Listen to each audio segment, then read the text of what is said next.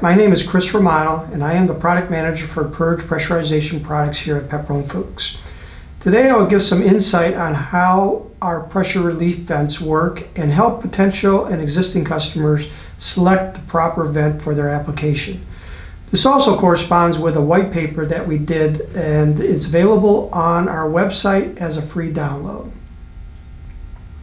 So what is and why do we need a pressure relief vent when purging and pressurizing an enclosure? Well, there are two main factors. One is purging the hazardous gas out of the enclosure, and during operation, if the pressure gets too high, you want to release that pressure from inside the enclosure.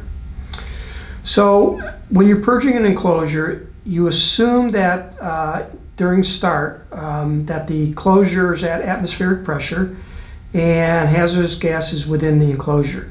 You need to purge out that hazardous gas with a high flow rate of uh, you know, uh, air or inert gas that's clean uh, and replace it with the hazardous gas.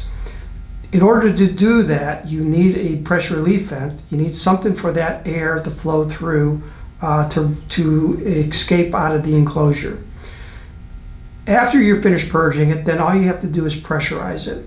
Now, during pressurization, it's pretty much sealed. However, you still need a pressure relief device on there in case the uh, regulator fails, which usually fails open, or um, somebody adjusts the pressure too high.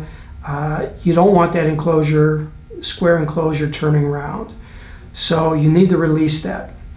Um, so with that, we have different types of vents at Pepperl & Fuchs that we designed and will operate for purge pressurization systems. Here at Pepperl & Fuchs, we designed these types of vents here for pressure relief. Uh, this happens to be two different styles of vents. Um, this particular one is a Zone 1, Division 1 uh, Type X uh, purge uh, vent.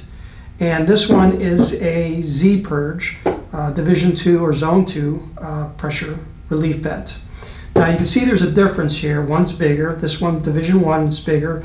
And the reason why is because there's a, a pressure sensor and a flow sensor inside this device that's intrinsically safe and it communicates the pressure and the flow through this vent back to the 6000 or 6500 control unit.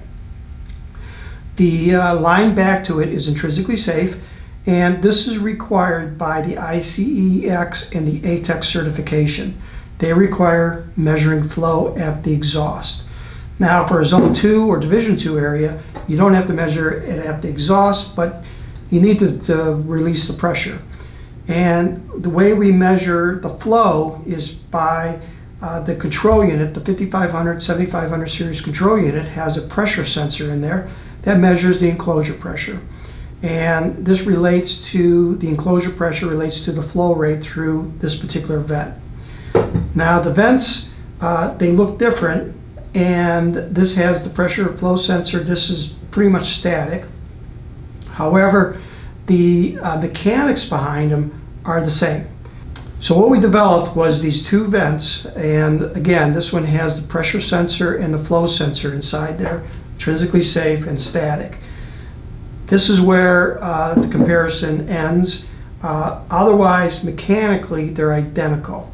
So inside these vents, and we'll show this vent for all three units, we have a type of release device inside here for, for the break-in pressure and purging out the gas. This particular unit has a flapper and it has a spring inside there. And we can put one spring and two springs. We call that the single and the double spring flapper type of unit. Now, when you put two springs in there, it provides more tension on the plate, which uh, provides a better seal when it's operating. And the plunger has an actual O-ring inside here that um, will provide a better seal and a, has a heavier spring for uh, a higher break-in pressure and a better seal for leakage during operation. Now for the for the use here, the single spring and the double spring, the double spring was actually designed to provide the better seal before we had the plunger. Now we developed the plunger style, which gives you the best seal uh, for leakage. So really, the double spring isn't really used that much anymore. So for the purpose of this uh, presentation, we will talk about the single spring and the plunger style. And you will see that there's really no reason to buy or order or use the double spring one. It's basically the single and the plunger style. Now with these vents, um, because of that spring, they are um, universally oriented. So gravity doesn't really play a part in here. So you can actually mount this on the top, side, or the bottom. You can even mount this inside the enclosure uh, by removing the cap, putting the body inside, and then the cap, as you see in the, the diagram. So it's very universally mounted. You always, and this cap rotates so that you can always have these openings uh, away from the water or not facing up. Um, so that's a little bit about the mounting of the units. Now with these vents, uh, there are three parameters that are of interest for purging and pressurization. There's the purge flow through uh, the vents, and then there's the break-in pressure. This is when the vent begins to open up and release the pressure inside the enclosure. And then the leakage pressure, which is basically after you're purging the enclosure, you're just pressurizing the enclosure and compensating for leakages. And this pressure is usually below the break-in pressure, uh, however, even though it's below the break-in pressure, you still have a little bit of pressure on those that flapper or plunger, and it will leak a little bit. So these three parameters we will talk about. For the purge flow, as you can see on the graph, that the single spring has the highest flow rate and the lowest enclosure pressure. And the plunger one, you can see that as the um, flow rate increases, uh, the enclosure pressure increases quite a bit higher than the single spring.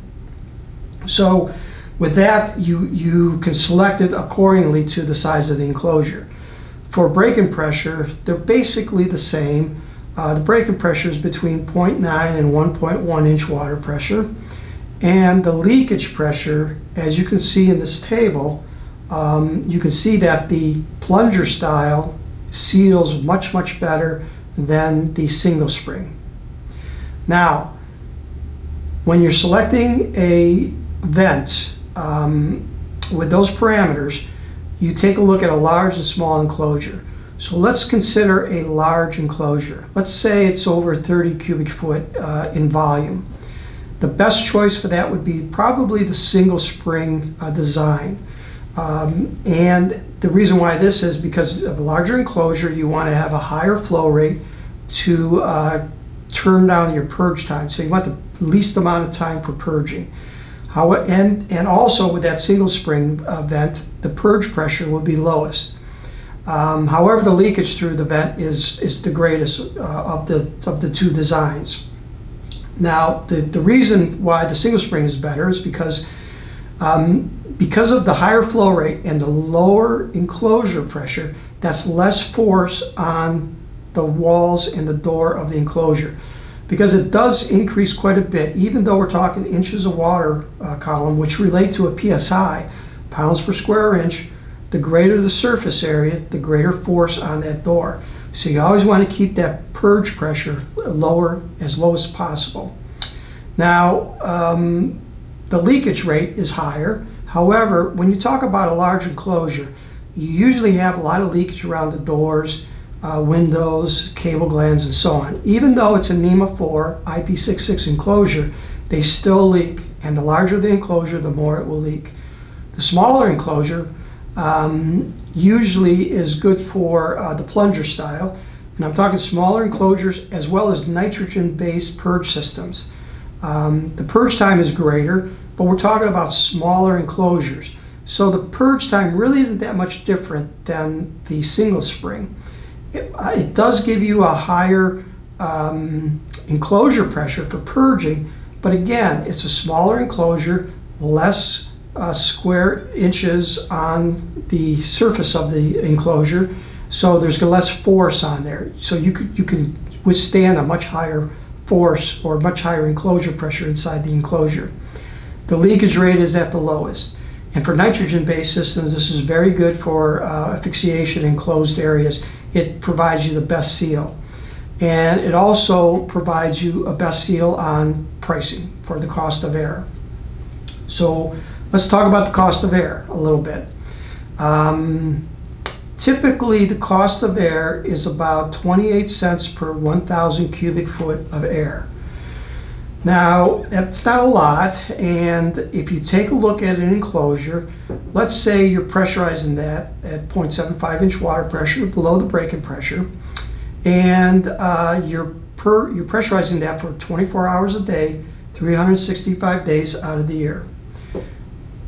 The O1 vents at 0.75 inch water pressure at 0.28 inch or 0.28 dollars per thousand cubic foot of air will cost about $145 per year to run that because of the leakage just through the vent, not through the enclosure, just through the vent.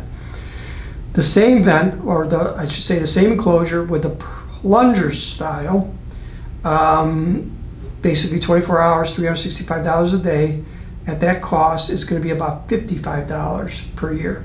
Now that doesn't seem like a lot, but when you add up the number of purge systems in your facility, um, the cost of air starts adding up. So you must consider that as well. For more details, information on our EPV vents, please download our white paper on choosing vents. Also, please visit our website for more purge pressurization products along with our hazardous uh, protection products as well. Thank you for watching and please like and share this video.